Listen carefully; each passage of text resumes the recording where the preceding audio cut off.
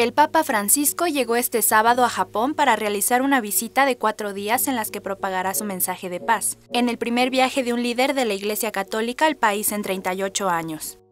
Su viaje de cuatro días incluirá visitas a Nagasaki e Hiroshima, ciudades atacadas con bombas nucleares al final de la Segunda Guerra Mundial. En un mensaje de video al pueblo japonés antes de abandonar el Vaticano, Francisco criticó el uso inmoral de las armas nucleares.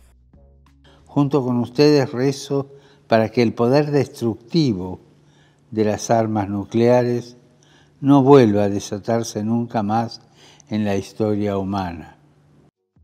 Antes de llegar a Japón, el Papa concluyó una visita a Tailandia, donde predicó un mensaje de tolerancia religiosa y paz, destacó The Japan Times.